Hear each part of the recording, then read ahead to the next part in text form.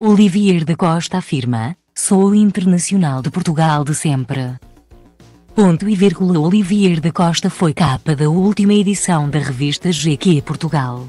O conceituado chefe não tem dúvidas do seu valor em Portugal e não teme a concorrência. Ainda para mais depois de ter ganho o troféu Moti 22 para a categoria Gourmet. Ponto e vírgula aqui em Portugal não há ninguém que chegue aos meus pés, confessou Olivier da Costa em entrevista à revista GQ Portugal. Ponto e vírgula sem medo e sem dúvidas, o chefe conceituado afirmou que prefere depositar dinheiro na conta ao invés de estrelas Michelin. Eu não deposito estrelas Michelin, eu deposito dinheiro na conta. Ponto e vírgula estou há 30 anos nisto, não tenho falência nenhuma, não devo a fornecedores. Estou a abrir lá fora, sou o mais internacional de Portugal de sempre, acrescentou.